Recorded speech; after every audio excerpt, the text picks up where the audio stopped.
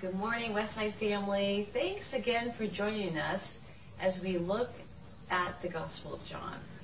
And today, as we read John chapter 20, we're using our SOAP method. We see the beautiful good news that Jesus has risen.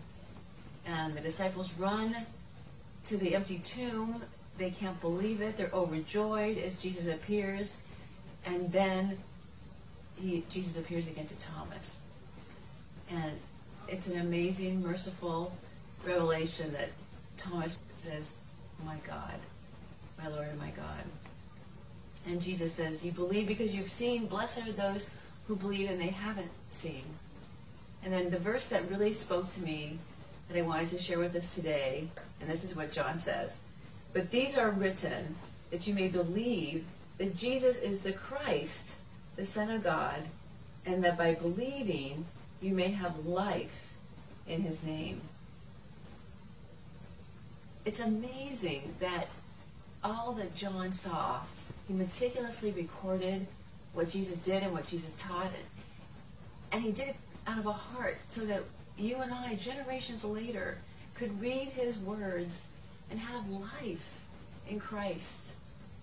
And that is the part that spoke to me today because so often in the world around us, we we see the opposite of life. In fact, I couldn't help but think of Jesus' words earlier in this gospel in John 10:10, 10, 10, when Jesus says, "The thief comes only to steal, kill, and destroy, but I have come to give you life and life to the full."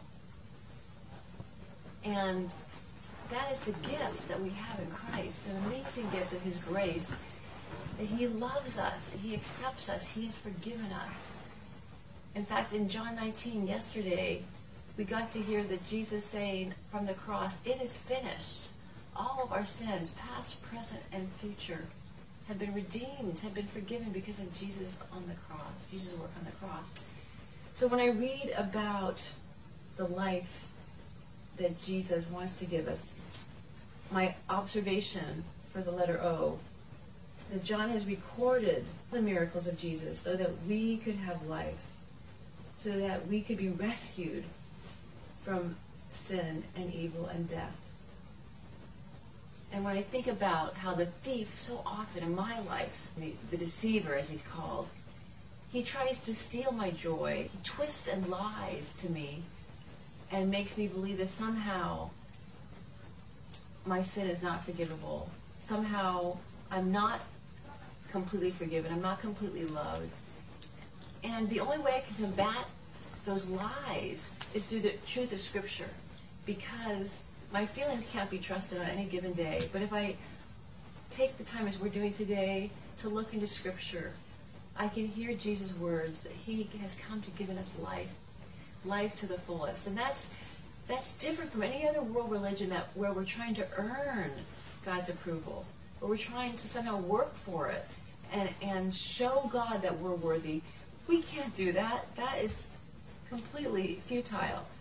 Instead, we are given, because of God's grace, life through Jesus.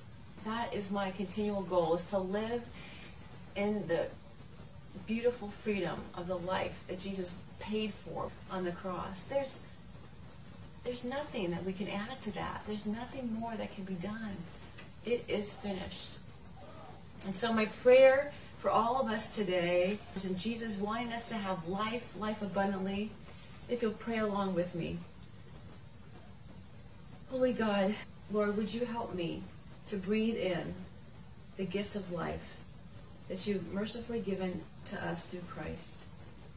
Would you help me to combat the lies of the thief and to live in truth, that I am your forgiven and beloved daughter? In Jesus' name I pray. Amen. And that is my prayer for you too, dear friends. As much as we are missing each other and not together, I pray that you will feel the life that Jesus wants you to have today. God bless you.